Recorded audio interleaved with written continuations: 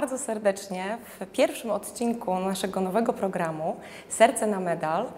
A to będzie program, do którego chciałabym zapraszać różne osoby, które w jakiś sposób pomagają innym. I moim pierwszym gościem e, jest Roman Żarnecki. Witam Cię, Romku. Witam serdecznie. Bardzo się cieszę, że zgodziłeś się na wywiad ze mną. Proszę Państwa, e, część z Państwa może pamiętać e, Romana z takiego wydarzenia, które miało miejsce we Wrocławiu 3 listopada. e, Spotkanie z zaświatami. Roman miał tam bardzo ciekawy wykład w ostatnich chwilach życia. Wiele z Państwa mm, oglądało ten program, widziałam, że było duże zainteresowanie i dzisiaj chciałabym zacząć od takiego krótkiego nawiązania e, do tematu e, pomocy przy takim przeprowadzaniu ludzi na drugą e, stronę życia. Romanie, ja chciałabym zapytać Ciebie o taki pierwszy przypadek, pierwszą sytuację, którą pamiętasz, kiedy towarzyszyłeś komuś przy jego śmierci, ale tak naprawdę przy przejściu do dalszego życia. No ten pierwszy przypadek to był, kiedy mój przyjaciel poprosił mnie o to, żebym e, z jego bliskim był. E, właściwie chodziło o wsparcie tego mojego przyjaciela, bo ta osoba była w śpiączce i nie spodziewaliśmy się, że, że, e, że się obudzi. Ale ten człowiek się obudził i miałem możliwość z nim rozmowy. Właściwie nie wiedziałem, co wtedy mówić, jak się zachować. Starałem się zachować spokój i, i towarzyszyć temu mojemu przyjacielowi, który, który, e, który e, po prostu e, chciał być przy śmierci swojego bliskiego. Zrobiło to na mnie ogromne wrażenie. Zupełnie nie byłem do tego przygotowany, ale jakoś pozytywnie przez to przeszliśmy. Niestety ten bliski wtedy zmarł. No właśnie, towarzyszyłeś później e, też innym osobom e, przy śmierci i może chciałabym Ci zadać takie pytanie, e, co mógłbyś doradzić naszym widzom, którzy być może są w podobnych sytuacjach i bliscy umierają i są, towarzyszą im w jakiś sposób przy przejściu na drugą stronę. Co mógłbyś im doradzić? Nawet po tym naszym nagraniu tak się stało, że miałem kilka telefonów i jeden z tych telefonów był taki, że właśnie córka y, dzwoniła w związku z, ze swoją mamą, jakby nie, nie wiedziała co zrobić, wracała z, z zagranicy. Ja doradzam spokój, doradzam spokój, y, y, doradzam to, żeby tą osobę, która odchodzi, uspokoić, żeby dać, żeby doprowadzić do jakiegoś pojednania, jeśli ono jest potrzebne, do, do, nie żeby sobie gdzieś tam wypominać, tylko żeby po prostu uregulować te wszystkie sprawy, które były trudne. Jeśli były trudne, nie zawsze są też trudne, ale, ale, ale generalnie spokój i, i, no i gdzieś tam wołanie w, nie- w niebiosa, spoglądanie tam, nabieranie takiej perspektywy, że, że, że dalej coś tam jest, jakaś kontynuacja, że coś jest, że to życie jednak się tutaj nie kończy. To jest trudne, bo, bo, bo, bo nie chciałbym dawać jakiegoś taniego takiego pocieszenia, takiego, że no, miejmy taką nadzieję, ale y, może jest tak dlatego, że ja naprawdę wierzę, że coś jest po drugiej stronie, więc, więc, y, więc w tą stronę. A jaka sytuacja, jaki przypadek był dla Ciebie najtrudniejszy? No, najtrudniejszy był, y, jeśli, pamiętam, kiedy mój wujek odchodził, kiedy umierał i kiedy mój przyjaciel też umierał. To były dla mnie najtrudniejsze sytuacje, oczywiście, bo głębokie relacje, wspólne przeżycia, no to było, to było trudne patrzeć, jak ci ludzie odchodzą. Mhm. Pamiętam, że w trakcie swojego wykładu mówiłeś o tym, że ważne jest to, żeby pogodzić się ze śmiercią. W jaki sposób Ty godzisz się ze śmiercią? Czy pogodzić się ze, ze śmiercią?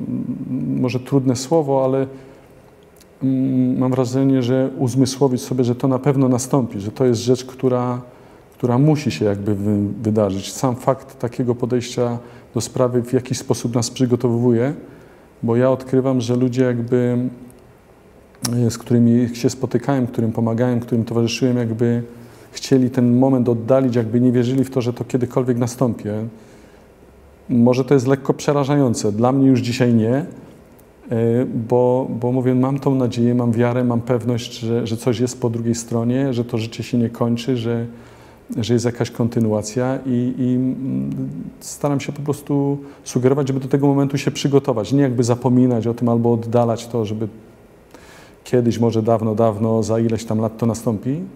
Tak, oby jak najpóźniej, ale, ale musimy być przygotowani, y, więc warto myśleć o tym, rozmawiać, medytować, szukać odpowiedzi na pytania.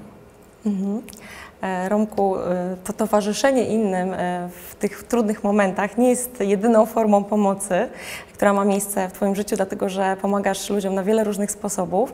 Jednym z tych sposobów jest Fundacja HOPS. Za chwileczkę o tym więcej porozmawiamy, ale chciałabym wrócić do takiego tematu, który poruszyliśmy przed emisją tego programu, kiedy rozmawialiśmy już tak prywatnie, Twojego dzieciństwa. Kiedy rozmawialiśmy, powiedziałeś, że już w dzieciństwie chciałeś robić coś coś dla ludzi i pozwolę sobie zacytować, mniej więcej ująłeś to w taki sposób, bardzo mi się to podobało. E, powiedziałeś, wielkie powołania od Boga są związane z tym, kim jesteśmy z kim się, kim, i kim się urodziliśmy, z byciem sobą po prostu. Nie trzeba nie wiadomo czego szukać. I mam takie pytanie do Ciebie. W jaki sposób w Twoim życiu, właśnie od tego sam, samego dzieciństwa, e, zaczęło przejawiać się Twoje powołanie? Powołanie to jest mocne słowo, ale rzeczywiście e, wierzę w powołanie, że każdy ma jakąś misję, czy ma jakąś zdolność, ma jakąś. I, i, i ta różnorodność, jaka jest w ludziach, jest piękna. E, ale ponieważ jest różnorodność, to bardzo często to, co jest nasze, wydaje się takie normalne i jakby przez nas niedoceniane. Ja w dzieciństwie absolutnie nie, nie, nie sądziłem, że to jest e, moje jakieś powołanie tylko po prostu zawsze lubiłem organizować jakieś akcje na podwórku. Właśnie już jako mały chłopiec lubiłem, e, wtedy pamiętam kilka razy taką zbiórkę, po kilka złotych, groszy zbierałem po to, żeby jakąś e, sumę pieniędzy uzbierać i organizowałem jakieś zawody kolarskie, jakieś sportowe zawody po to, żeby tą kwotę pieniędzy, którą razem żeśmy zebrali, przeznaczyć na, jakieś, na, jakieś, e, na jakiś wspólny cel to było takie naturalne, to po prostu mi się udawało. No, byłem akurat jedynym na podwórku, który miał takie twórcze myślenie, ale no, później się to przerodziło. Dzisiaj jako dorosły człowiek mogę postrzegać, że, że właśnie kiedy myślę o powołaniu, o takiej misji człowieka, to że nie muszę się porównywać z innymi, tylko mogę odkrywać, kim naprawdę jestem, pogodzić się z tym i y, zrobić wszystko, co najlepsze. Wszystko, co posiadam, po prostu użyć w 100%, tak jak y, najlepiej jak potrafię. I mm, no, taką do dzisiaj postawę mam. No właśnie, tak się to rozwinęło w Twoim życiu, że doprowadziło to do powstania Fundacji HOPS. E, jeśli możesz, to e, przybliż jej założenia, jak to się stało w ogóle, że ona powstała, e, co oznacza skrót HOPS. Jak rozmawialiśmy też tutaj poza wizją, to, to powiedziałam Ci, że mi się to bardzo mocno kojarzy z takim angielskim słowem hopes, które oznacza nadzieję i to ma na, tak naprawdę bardzo wiele wspólnego, to słowo hopes z Fundacją HOPS. Tak, taki trochę zamiar też był, żeby to się troszeczkę kojarzyło, ale początki były jakby zupełnie niezwiązane z nazwą HOPS, y, bo nazwa HOPS oznacza chrześcijański ośrodek pomocy społecznej, y, w skrócie HOPS. Y, zaczęło się to właśnie jakby już od tego dzieciństwa, od sytuacji, które mnie spotykały, że jakby moje życie było nakreślone tym, że ciągle kogoś spotykałem, komu potrafiłem pomóc. Y, oczywiście były sytuacje i są w dalszym ciągu, gdzie pewne rzeczy mnie przerastają, ale skupiałem się na tym, że jeżeli napotykałem człowieka i widziałem, że mogę mu pomóc i że jest to w zasięgu moich możliwości, no to coś tam organizowałem. I w taki naturalny sposób y, y, przyjaciele, znajomi też dostrzegali to i zaczęło się od prostego przynoszenia ubrań, bo zawsze moi znajomi wiedzieli, że ja wiem, komu je podarować. I, i, i nawet nie potrafię powiedzieć daty, kiedy to się tak naprawdę zaczęło. Wydaje mi się, że to od zawsze było.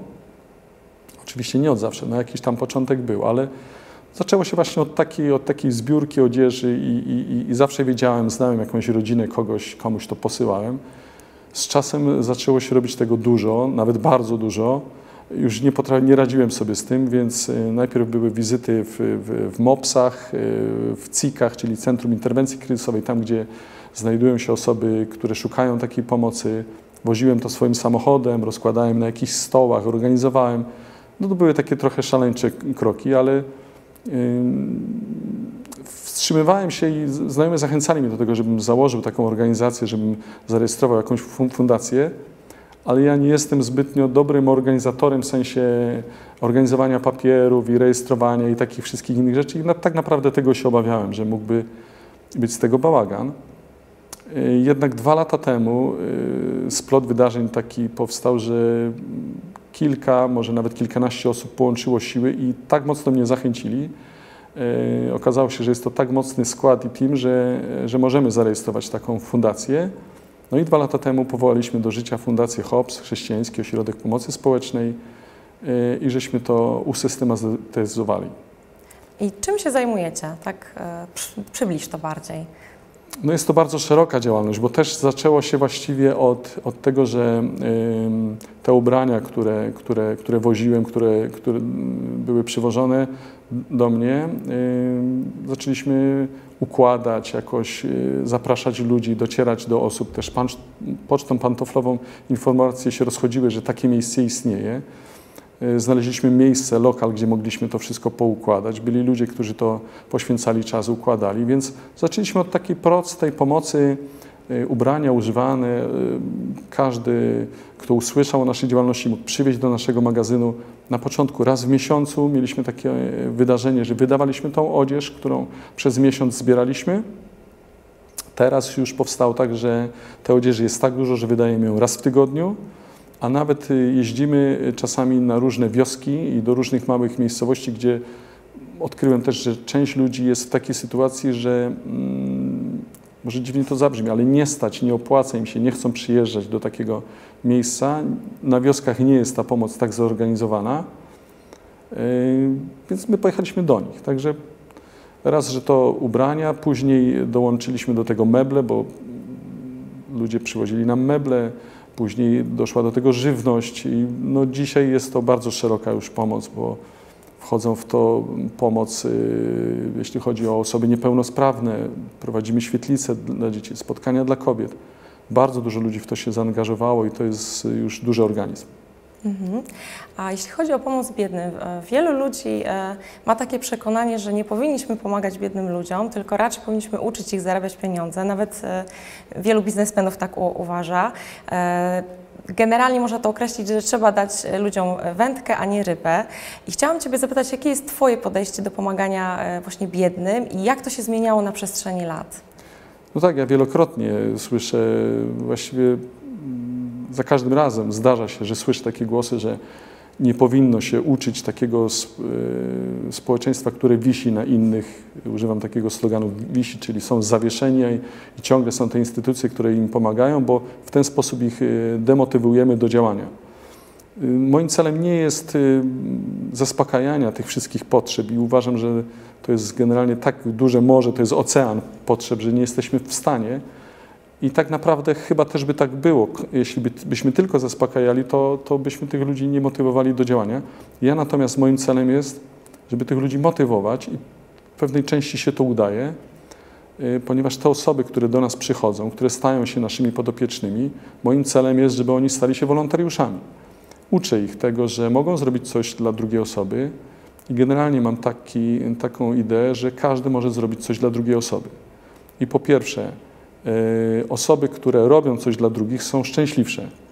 Bo moja y, y, teoria szczęścia polega na tym, że jeśli zamkniemy się ze swoim bogactwem dla siebie samych, to jesteśmy nieszczęśliwi, bo nie mamy się z kim podzielić. Więc dzielenie się, obdarowywanie jest generalnie czymś radosnym. Przykładem mogą być święta Bożego Narodzenia. Oczywiście mamy na myśli tutaj bliskich, ale sama idea dawania, daje nam, wyzwala w nas szczęście i odkryłem to, że w tej fundacji y, gromadzę też i szanuję ludzi, którzy dają coś i w ten sposób widzę, że oni są szczęśliwsi. Staram się dawać to umiejętnie, pokazywać, że ta pomoc ma sens, y, że ci ludzie są w stanie y, aktywować się, ale często proszę mi wierzyć, że mm, ludzie, którzy ja poznaję te osoby, poznaję te osoby, poznaję ich w ich środowiskach, w ich domach, poznaję ich historię i czasami powierzchowna ocena jest, jest, jest negatywna, jest krzywdząca w stosunku do tych ludzi, bo za nimi stoją jakieś trudne historie, jakieś traumy, jakieś błędy też, które osobiście popełnili, ale tak naprawdę y, potrzeba jakiejś nadziei i proszę mi wierzyć, że taka bezinteresowna pomoc ze strony y, drugiej osoby, nieznajomej, wielokrotnie byłem świadkiem tego, że, że to doprowadza tych ludzi do, do, do łez, do, do, do, do takich pozytywnych łez, do, do wzruszenia, do zastanowienia się, Dlaczego ktoś, kogo nie znam, pomaga mi w taki sposób? I jeśli, jeśli ciepła kurtka, albo jakieś drobne zakupy, albo jakiś nawet większy gest ma, komuś, ma komuś, kogoś w życiu zatrzymać i spowodować, że on się trochę zastanowi i zmieni, to może ten świat będzie właśnie piękniejszy, a my przy okazji będziemy szczęśliwsi. I ja łączę te, te rzeczy. Łączę tych ludzi, którzy są yy, poszkodowani, którzy są skrzywdzeni, którzy sami sobie zasłużyli na, na to miejsce, w którym są z tymi, którzy chcą się dzielić. Ciągle spotykam jednych i drugich. No właśnie, ta fundacja jest takim mostem łączącym te dwie grupy ludzi. Czy mógłbyś opowiedzieć jakieś e, takie osobiste e, historie i tych osób, które otrzymały pomoc, i tych, które dały? Coś, co tak szczególnie zapadło Ci w pamięć? Tych historii jest bardzo dużo. Jest bardzo dużo, ale opowiem o jednej, która mówi o połączeniu. Y trafiłem na taką panią, która, ktoś powiedział mi, że, że dobrze byłoby jej pomóc. To organizowaliśmy wtedy pomoc żywnościową, robiliśmy zbiórki żywności i, i, i robiliśmy z tego paczki świąteczne. Ktoś mi powiedział, że jest bardzo chora pani, która nie przyjmuje już nikogo, jest w ciężkiej depresji, yy, ale no, przydałaby jej się żywność, więc odwiedziłem ją. Yy, nie chciała wpuścić mnie do domu. No ale po jakiejś tam, przez drzwi rozmawialiśmy, po jakichś tam namowach, krótkiej rozmowie yy, udało się wejść do środka. Pani od czterech lat chorowała na raka. Yy, była w, naprawdę w trudnej sytuacji. W domu było zimno. Yy, zobaczyłem, jaka jest sytuacja. Ona nie paliła, miała jakiś tam piec kaflowy. Zostawiliśmy jej tą żywność, ale powiedziałem jej, że zatroszczę się o to, żeby miała ciepło, że załatwię jakiś grzejnik i elektryczny, który postawimy, i, i, i, bo te warunki po prostu nie pozwalały no, dobrze tam funkcjonować, szczególnie jeszcze dla takiej osoby chorej. Opisałem tą sytuację na, na swoim Facebooku, bo to jest żywy organizm, tam tyle rzeczy załatwiamy. Opisałem historię nie używając imienia i nazwiska, że jest taka osoba. I młoda dziewczyna w, w Szkocji bodajże, jeśli dobrze pamiętam, jakaś studentka, która studiuje i pracuje, utrzymuje się tam, przeczytała tą historię i napisała do mnie, że chciałaby kupić tej, tej, tej kobiecie taki grzejnik i chciałaby zapłacić kilka rachunków elektrycznych, które y, oczywiście pojawią się. I był to niezwykły gest, bo, bo to była zupełnie osoba nieznana, w dodatku młoda, na tak zwanym dorobku. I pamiętam, jak, jakie duże wrażenie zrobiło to na tej osobie. To była potężna dawka takiej pozytywnej energii i życia dla kogoś, kto już umierał, dla kogoś, kto, kto, kto był w takim trudnym stanie i w tej depresji, a przy okazji ta młoda dziewczyna w, w Szkocji mówiła mi, że czuje się szczęśliwa, że mogła komuś w taki sposób pomóc.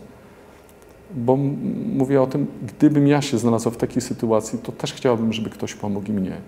Mhm. I tu była ta, y, zadziałały te dwa elementy, że ktoś był w potrzebie i ktoś był w trudnej sytuacji i był ktoś, kto mm, chciał te swoje pieniążki przeznaczyć y, y, na, na zakup y, takiego grzejnika i zaspokoiliśmy tą potrzebę i wszyscy byli szczęśliwi. To jest piękna historia. Piękna, naprawdę piękna.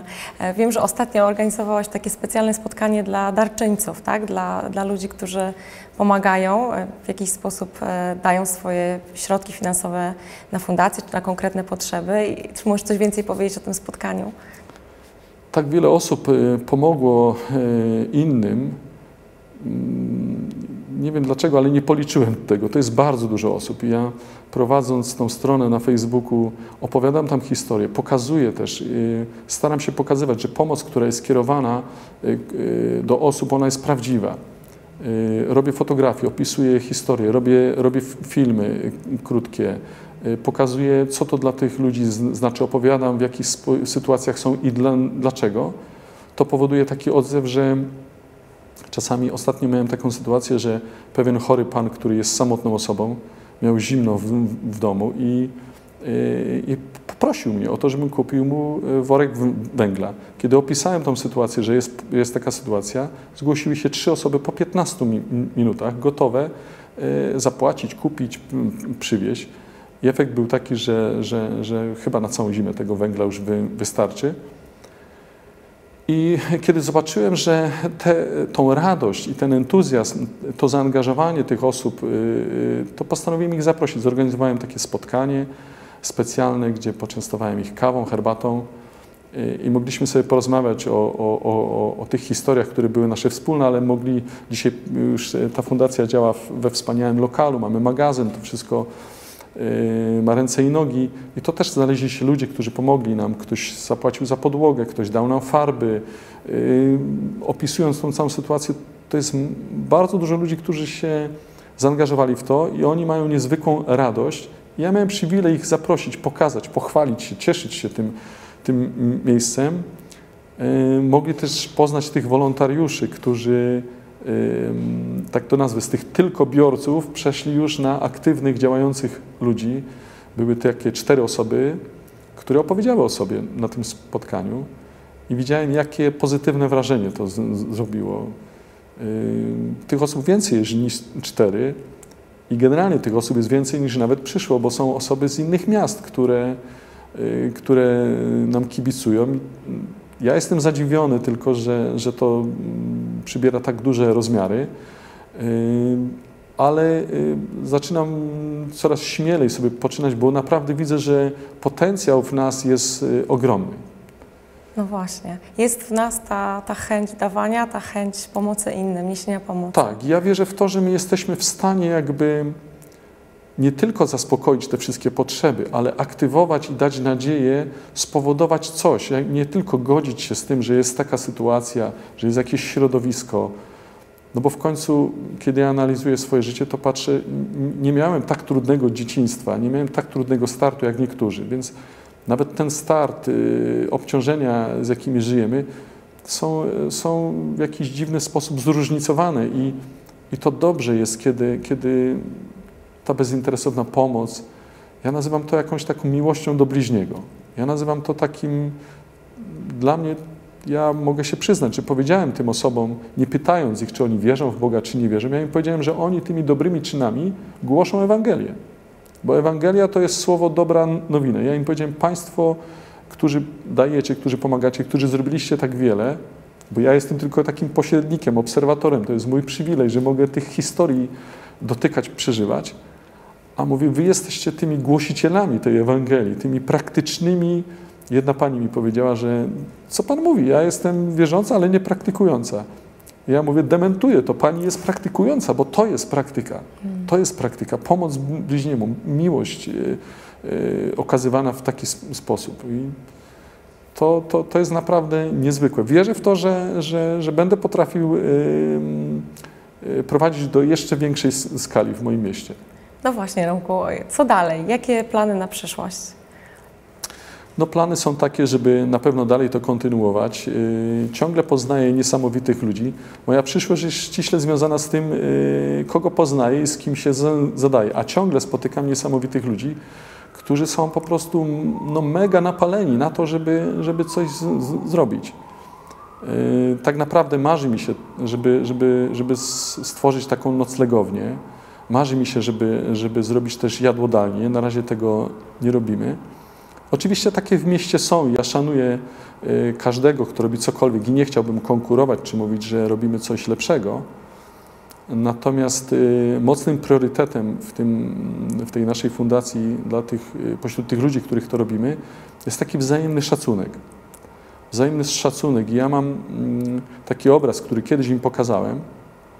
Wziąłem banknot nie mam przy sobie, ale wziąłem banknot o jakimś tam nominale, pogniotłem ten banknot i zniszczyłem go yy, i pokazałem im, że yy, życie człowieka może tak wyglądać jak ten zniszczony banknocik, ale wyciągnąłem drugie z tym samym nominałem, który był prostym, ładnym, czystym banknotem i powiedziałem, jak spojrzymy na te banknoty, to jest różnica, ale wartość tego banknotu jest taka sama.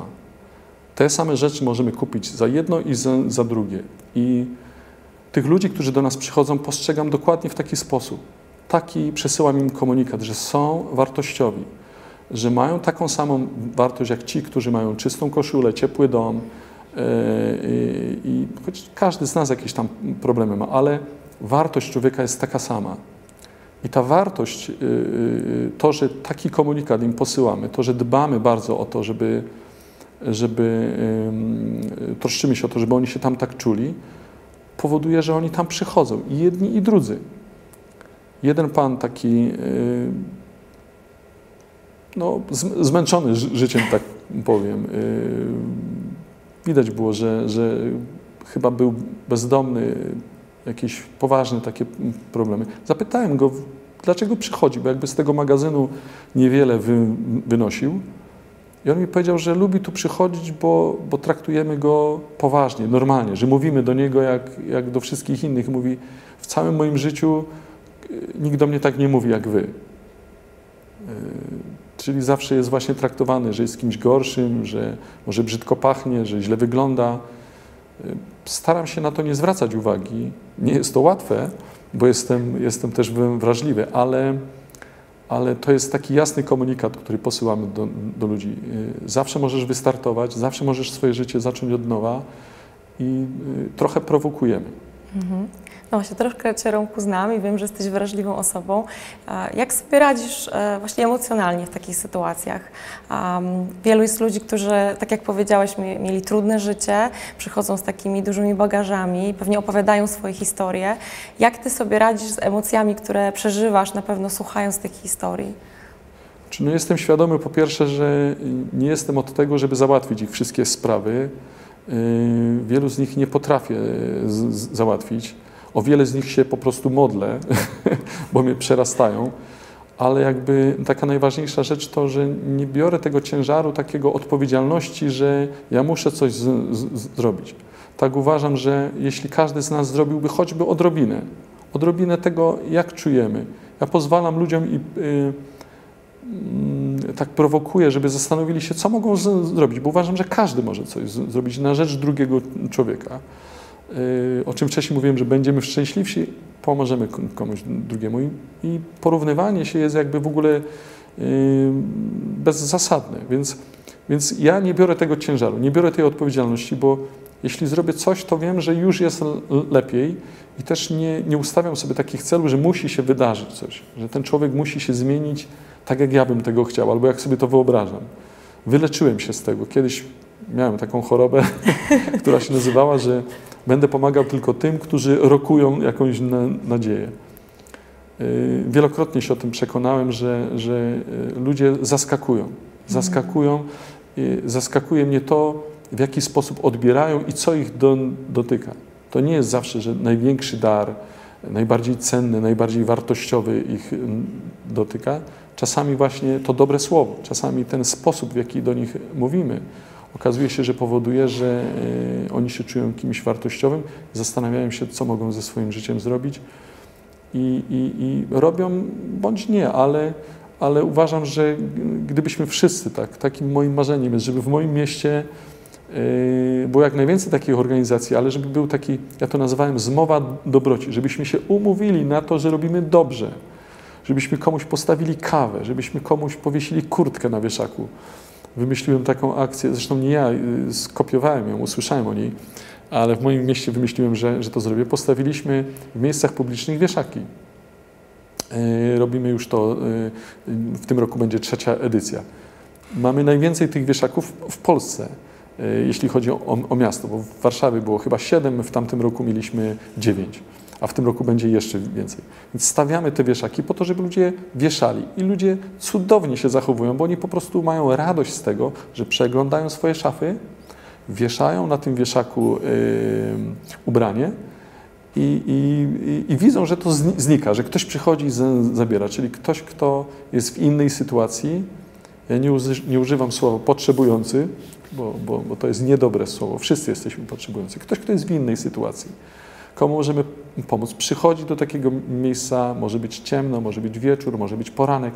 Cały czas ten wieszak stoi, może sobie coś wymienić. Więc to jest taka wymiana ciepła. I takie akcje są po prostu cudowne. I tego robimy mnóstwo. I robię to po to, to jest zupełnie bezimienne. Nie wiem, jak wiele osób kiedy, kiedy byłem w radiu czy w telewizji, to pytali mnie, jaka skala. Nie jestem w stanie ocenić, ale widzę, że to się dzieje, że te wieszaki są pełne i puste, pełne i puste. Dzwonią do mnie ludzie, którzy dziękują mi za to, że je postawiliśmy. Dzwonią i piszą ludzie, którzy mówią, że świetna inicjatywa, że biorą w tym udział.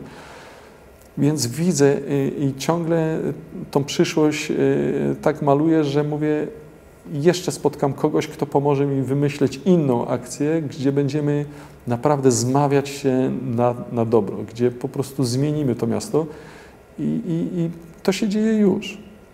Pięknie powiedziane, zmawiać się na dobroć. Tak.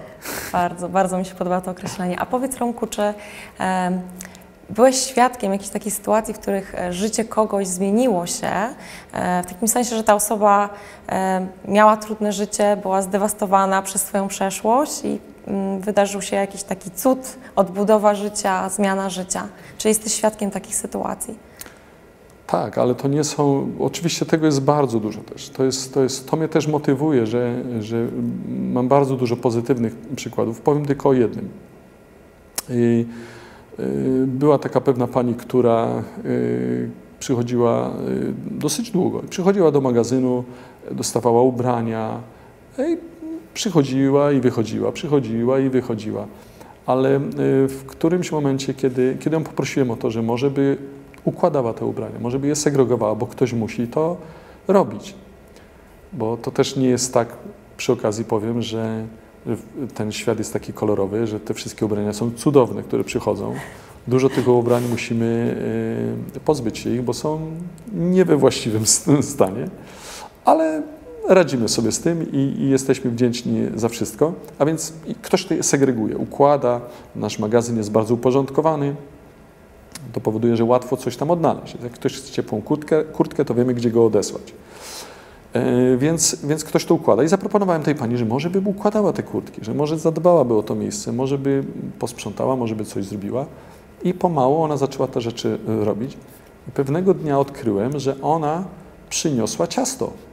Przyniosła ciasto, pokroiła to ciasto i tego ciasta było bardzo dużo, bo na takie y, tygodniowe nasze spotkanie, na, na, na, ten jeden dzień, który mamy raz w tygodniu, przychodzi około 80 osób. I ona przyniosła ciasta dla 80 osób.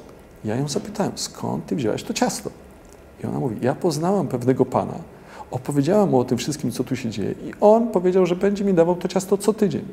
I będziemy mieli tego ciasta co tydzień na każde spotkanie. Bo on też chciałby się dołączyć do zmowy dobroci. Chcę pozostać anonimowy, ale ale y, będzie nam tak y, tutaj pomagał. I ta pani, żeby to ciasto nam przynieść, musi o 6 rano, dosyć daleko, bo sprawdziłem to, kiedyś pojechałem do tego, do tego pana uściskać mu dłoni, podziękować i, i, i docenić.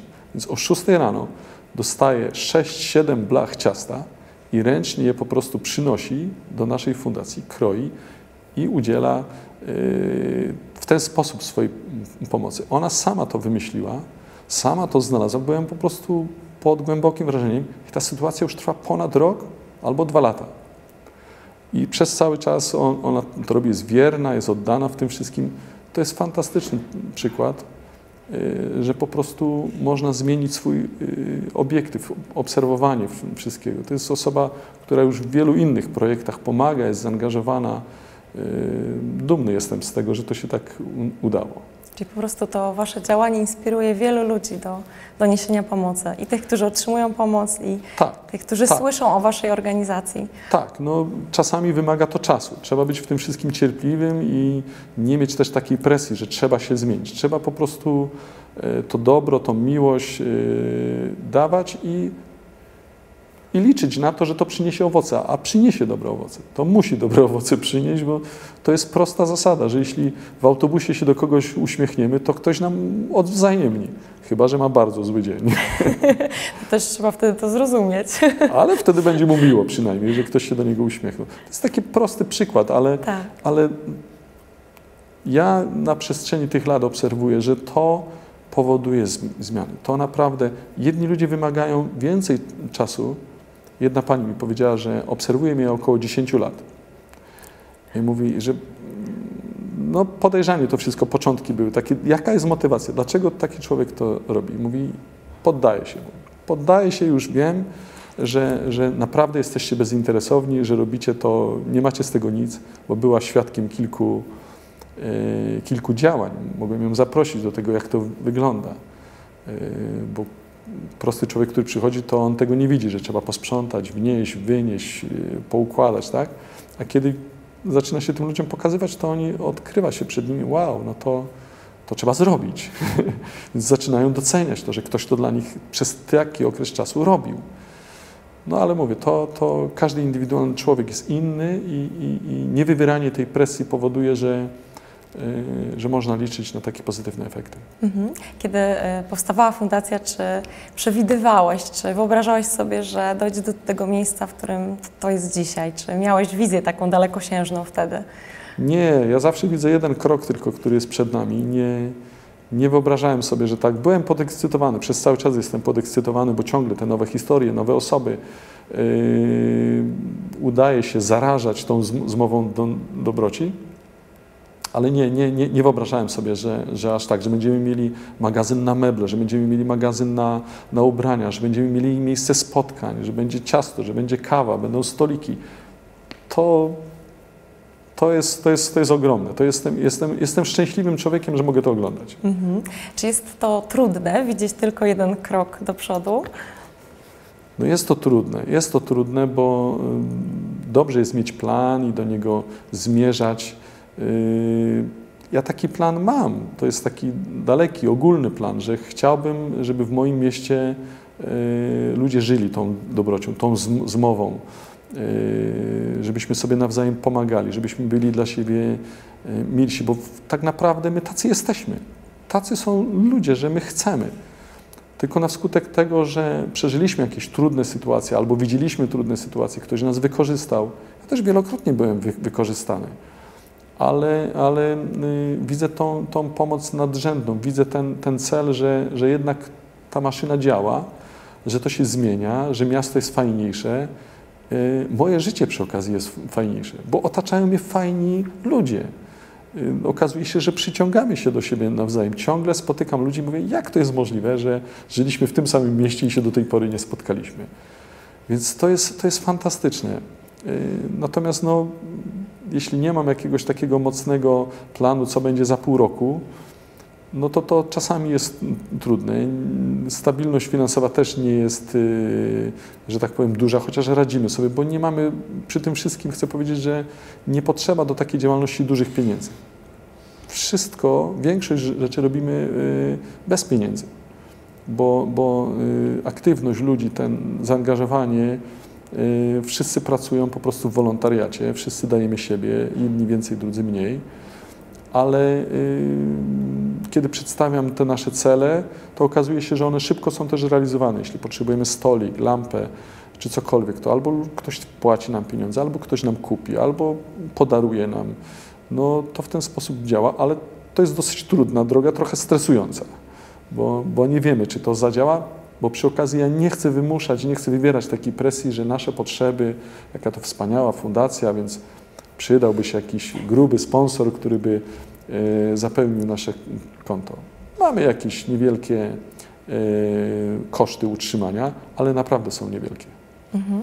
Powiedz właśnie Romku, naszym widzom, w jaki sposób e, można pomóc, jak się z Tobą skontaktować, a jeśli widzowie chcieliby się w jakiś sposób zaangażować w pomoc fundacji? Mój telefon dzwoni non-stop, bo albo dzwoni ktoś, że chce podarować meble, albo że ktoś potrzebuje albo ktoś chciałby porozmawiać, ale tak naprawdę to yy, wiem, że nie wszyscy są zwolennikiem Facebooka, ale na dzisiaj jest to, jest to taka platforma, która po, pozwala mi pokazywać i potrzeby, i, i, i tych ludzi, i historie, i właściwie wszystko, może nie wszystko, bo na wszystko nie starcza czasu, żeby pokazywać, ale, ale dużo tam pokazujemy.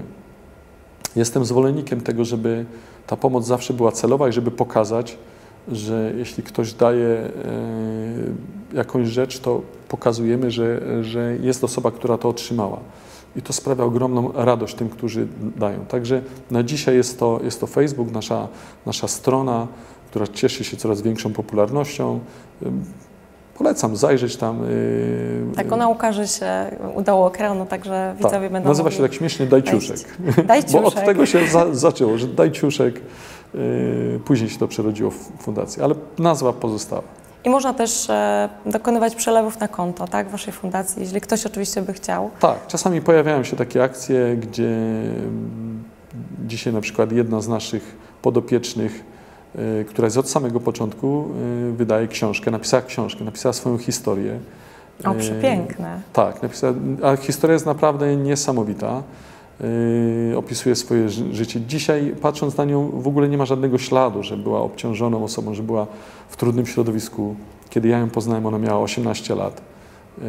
Znamy się 20 lat, więc mamy długą Długa historię. historia. To było jej marzenie, wydać ksi- książkę.